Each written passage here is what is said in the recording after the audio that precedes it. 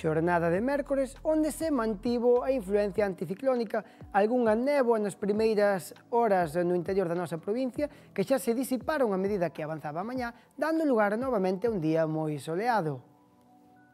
Moi boas noites, eh, que tal están? Vémolo perfectamente na imaxe do satélite como eses eh, ceos luciron novamente despexados na nosa comunidade, aínda que, iso sí, como dicíamos, no titular esa situación anticiclónica que se vai a perder na xornada de xoves e xa esas frontes que están sobre o Atlántico nos van comezar a afectar.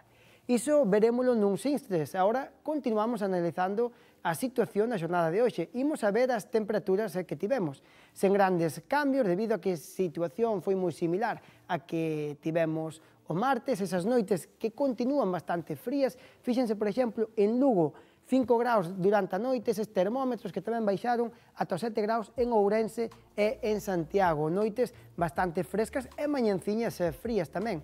As máximas que apenas superaron os 20 graus. Como poden ver, 20 graus en Coruña, Santiago e Pontevedra, 21 un pouquiño máis en Lugo Ourense e 22 en Vigo.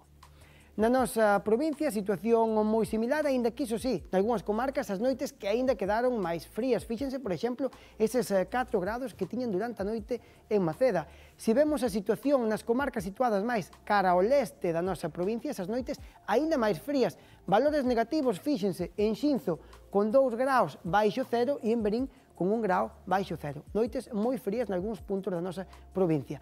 E as máximas, como dicíamos, en torno aos 20 graus, algunhas comarcas superando lixeiramente. Por exemplo, Berín que marcaba eses 23. E que nos agarda para a xornada de mañá? Pois o que anticipaba o satélite que o confirman os modelos. Fíxense como esas frontes nos van a afectar na xornada de xoves debido a que perdemos a influencia do anticiclón inestabilidade que se vai a manter durante varios días e, polo tanto, tamén agardamos novamente, os modelos indican, unha fin de semana pasada por auga.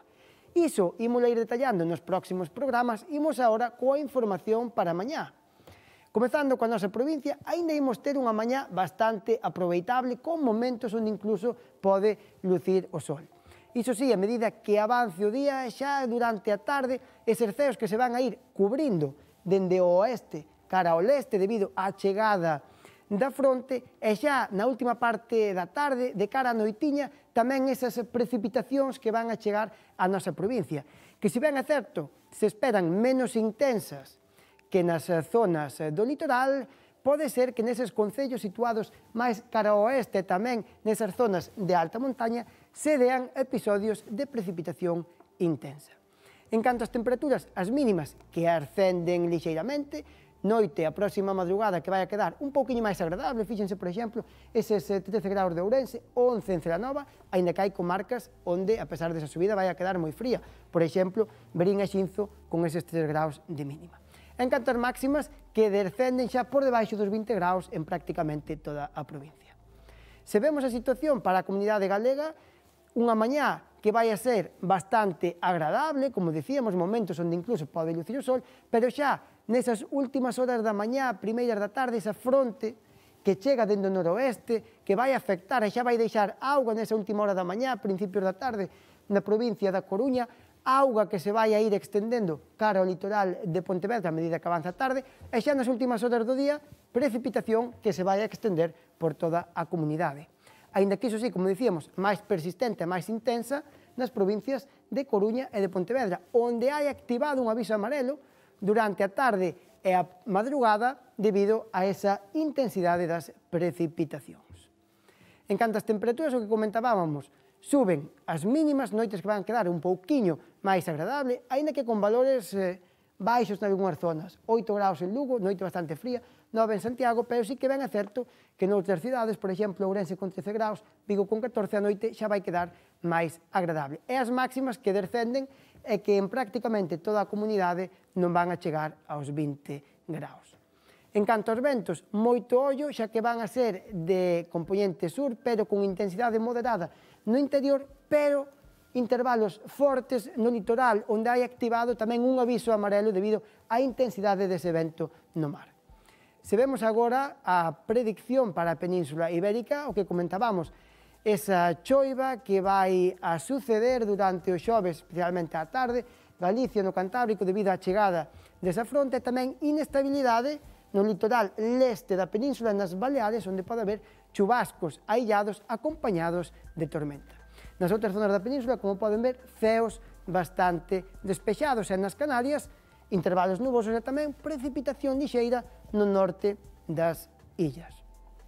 Pois ben, hoxe finalizamos cunha información duns estudios científicos elevados a cabo na Universidade de Vigo e que analizan como o cambio climático vai afectar a nosa cidade nas próximas décadas.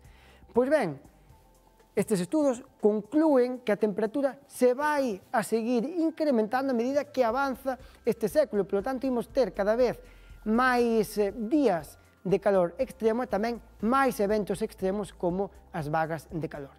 Pero esta tendencia cara a un clima máis seco e con menos eh, precipitación non vai a evitar que esas precipitacións se den cada vez en eventos máis extremos, polo tanto tamén vai haber un incremento das inundacións. Polo tanto, pode verse como eses efectos negativos do cambio climático tamén van afectar a nosa cidade, a nosa provincia, o que fai necesario tomar medidas para mitigar eses impactos. Pois ben, ata aquí a información meteorolóxica no día de hoxe. Como sempre, pasen moi boa noite.